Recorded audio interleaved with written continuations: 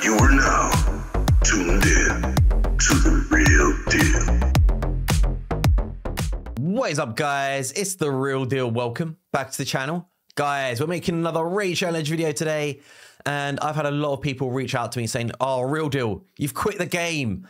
And I've sort of turned around and I said, Yeah, yeah, I have quit. And it's really, really difficult. Uh, you know, I feel like, you know, I love Raid Shadow Legends, but I've sort of fallen out of fallen out of love with it.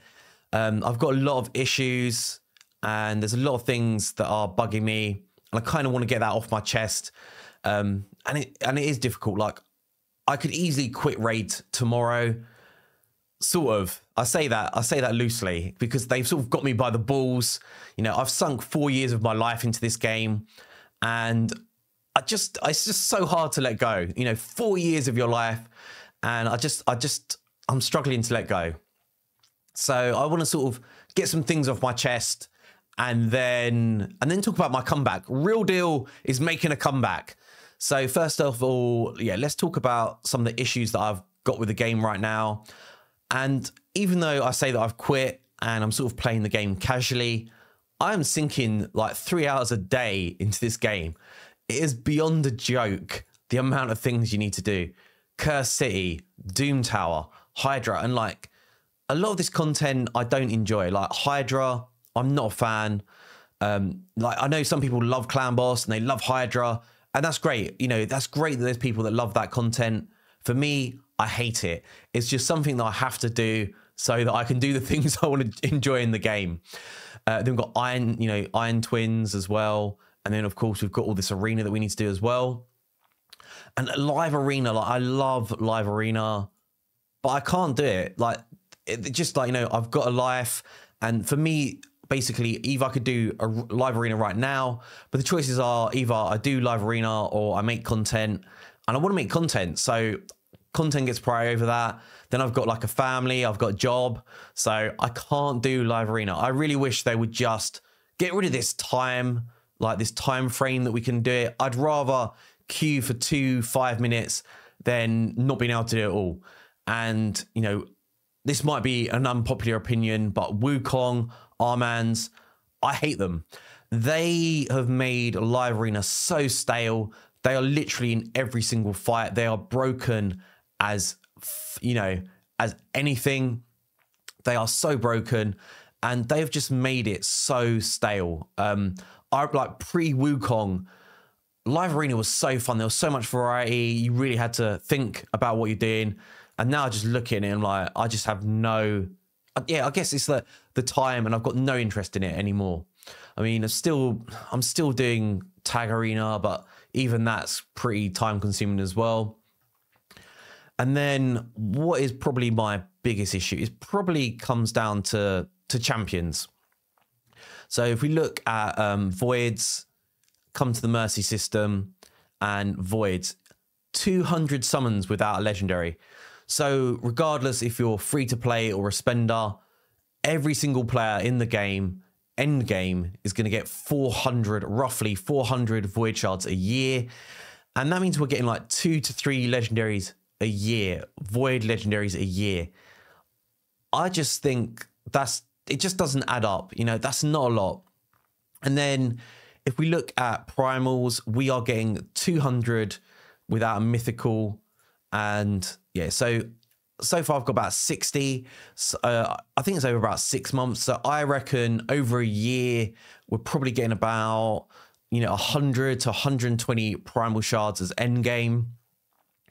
And that means we are getting one mythical champion every two years. How how do you even think that's acceptable?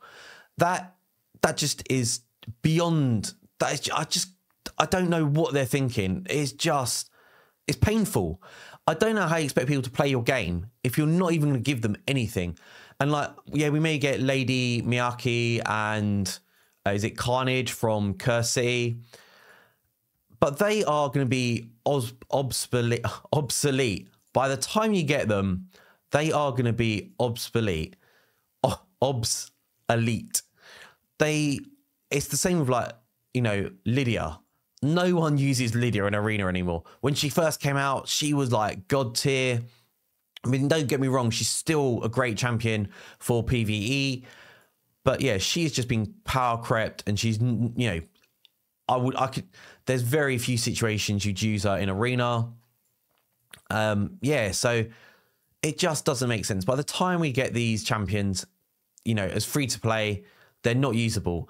And there's always been a gap between free to play and spenders, but the gap now is just redonkulous. It really is. And I, I don't know, it's like a real slap in the face. How do you expect people to play your game if you're not willing to give them anything? So I feel that we should be able to get maybe two mythicals a year. I think everyone should be able to pull two mythicals a year and legendaries they need to bump that up from like two to three to like 10 to 12 either give us you know three times the amount of shards maybe even four or you need to drop mercy down to like a hundred maybe yeah down to a hundred. I think that would be acceptable. Anything less is just it's not on. It's just not right. And then awakenings. Awake awakening like as much I actually do enjoy pulling soul stones, but it is just so hard to actually get heroes up to scratch. So Liores is the only um, champion that I've actually like invested in properly. Hephraak, I pulled him. Danang, I pulled him. Elagabalus, I pulled. Uh, Gamoran, I pulled. Tormund, I pulled. So Tormund's decent. Um, but they're not like maxed out. And with Wukong and Harima, Harima won that event or tournament. And then Wukong, you know, they just gave us the souls, whatever. And the same with Ultima Death Knight, they gave us those um those like awakenings. But it's still it's a joke. Like how long it is just insane like how long it takes to fully build up a, a champion. Like I was gonna say like classic WoW, vanilla van, vanilla WoW, vanilla raid, like back in the day, classic raid. All I had to do was get, you know, first of all we'd pull our champion, then we'd put books into them, then we'd get gear, then we'd do Minotaur, Minotaur, and that's it. We're done. We're done. Now I've got to get the gear, and like it's hard. Like there's so many champions now. I need so many champions to do like all the content. We have to get the gear first of all, which is like a difficult enough as it is. So we get the gear, then we need to awaken the gear, then we need to awaken our champion. Like for them to really be like useful, they need, to, you know, they do need to be awakened. And you're looking like six months now, like to fully like like wait awaken our champions like to make them like really usable in arena i mean maybe some people will disagree with that but that's how I feel. Like if I really want to use a champion in raid at the top, like top end level of the game, they need to. I need to do all those steps, and it's just like, oh, it's just, it's too much. It's just too much. Anyway, we've been quite negative now. I want to try and be like more positive. You know, I'm a positive person in real life. Uh, that's enough being real. Let's let's talk about the comeback. So, what I want to do now is sort of reach out to you guys a little bit, get some help from the community because, like I said, I want to make guides and champions, and it's one of the things I enjoy the most. And it's so difficult to make guides when, like I said, like to to make a champion and stuff. Um, it's like such a long turnaround, and yeah, it is. It is what it is. So, um, like anyone that's got an account they want to share, like I want to do um, you know, like borrow accounts, showcase them, sort of so we can look at the best champions in the game with like like fully built and stuff. So I can share that with you guys so you know know how to build them out. Uh, I want to start doing like tier videos again. I really enjoy like making a tier list. Um, what else? Like, obviously, shard pools. This is like an obvious one. Uh, but yeah, just want to make content again, like really fun, enjoyable content. And yeah, I'm sort of losing my train of thought. Just sorry, guys. I'm just gonna take a minute to gather my thoughts again. Yeah, and yeah, I just want to make like funny videos as well. So I'm aiming to like make maybe two videos a week. Um, you know, like I said, I've got a lot going on in real life. I can only film like really one hour a day. And it's a lot. You know, you've got to film the video, you've got to edit it, you've got to make a thumbnail, you've got to add tags, you've got to do a description, all that stuff. It takes time. It takes a lot of time. So um, yeah, I want to do that. Also, I'm playing Eternal Evolution at the same time. Really enjoying that game as well. So if you want to check that out, you know, obviously just check on the channel. It's a really fun game, very similar to Raid. Um, there are a lot of things that are there's things better in Raid, there's things better in Eternal Evolution. But one of the things I really like about Eternal Evolution is there's no gear restrictions. You can literally have the freedom just to move gear around and stuff, and it is really fun to play. But um, yeah, so that's what I want to do, and I hope you guys stick around and sort of you know get back on that um, back on the horse.